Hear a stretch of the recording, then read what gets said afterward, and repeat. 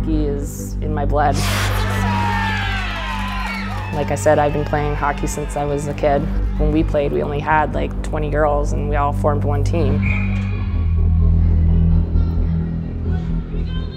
For me, I had to go out of state because there wasn't a whole lot of hockey available for me. When I played Lady Coyotes, you didn't know if there was going to be a team the next year.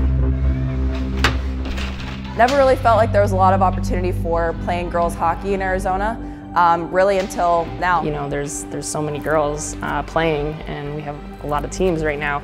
Um, so it's also to see, you know, people believing in the girls program finally.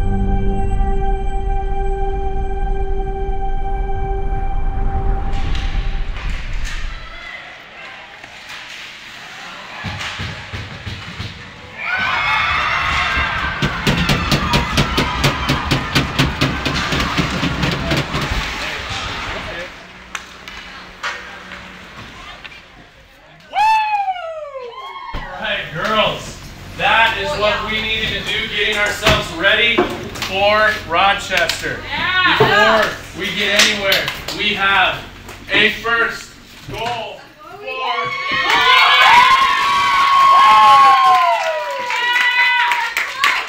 all season we've wanted to see that our little spark plug finally got her goal. Thank you for making me uh, not want to break more sticks. I feel like I should unbreak my stick from this morning to make up for how well you guys played today. So my name is Matt Schott. I am the hockey director, vice president, one of the founders of the Arizona Kachinas. I've been, I was born and raised in Arizona. I've been part of the hockey community since I was four or five years old.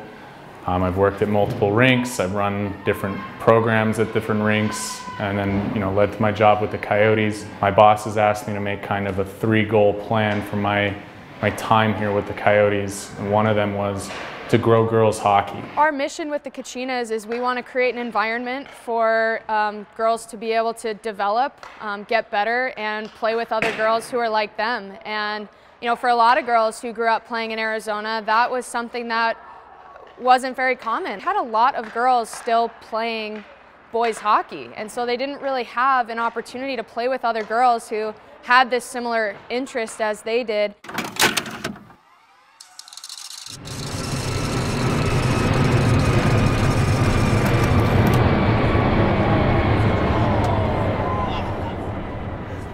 The Winnipeg Jets came from Winnipeg to Phoenix and became the Phoenix Coyotes, they brought with them a lot of daughters that played hockey.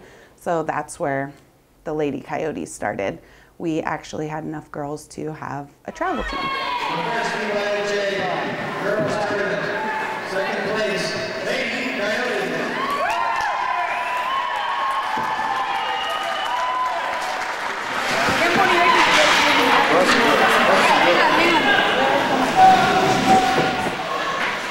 I grew up playing at Oceanside Ice Arena.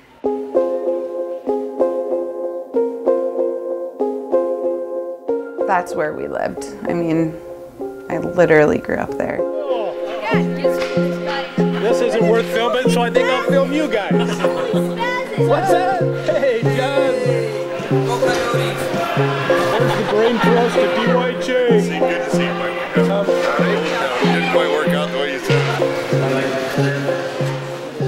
when I was playing ice hockey, it didn't seem like a big deal that I was one of the only girls.